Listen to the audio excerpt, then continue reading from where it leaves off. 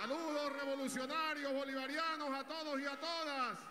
Mis felicitaciones al Partido Socialista Unido de Venezuela, a todos los partidos de la Alianza, ya está el Gallo Rojo, al MEP, a todos, a los frentes sociales, el gran polo patriótico, la vanguardia revolucionaria de Chávez. Felicitaciones por esta gran movilización por esta gran concentración.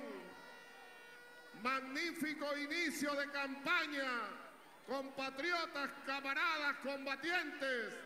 Venimos llegando de Sabaneta, como ustedes saben, desde allá, desde la tierra originaria, la tierra que vio nacer a nuestro comandante supremo, ¡que viva Chávez!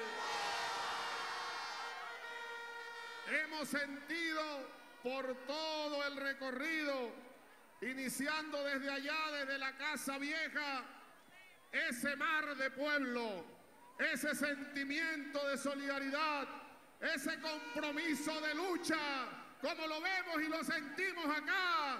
Esta avenida totalmente llena se quedó pequeña para el mar revolucionario, para el mar de gente de Chávez.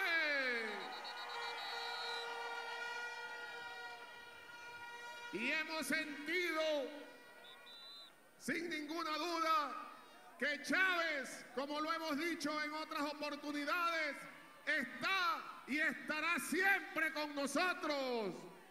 El espíritu de Chávez ha encarnado en el pueblo de Venezuela, en esa inmensa mayoría que el 14 de abril ratificará, porque es un mandato de Chávez a Nicolás Maduro en la presidencia de la República.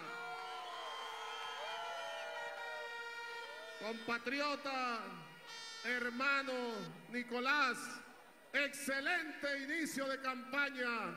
Esta es la muestra que vamos efectivamente, sin caer en triunfalismo de ningún tipo, vamos hacia esa nueva gran victoria Victoria contundente el 14 de abril.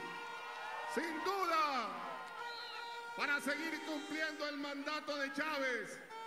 Y aquí tenemos entonces en este inicio de campaña a ese compatriota revolucionario, leal, entregado a la causa del pueblo y de Chávez desde hace muchísimos años y desde aquí para siempre.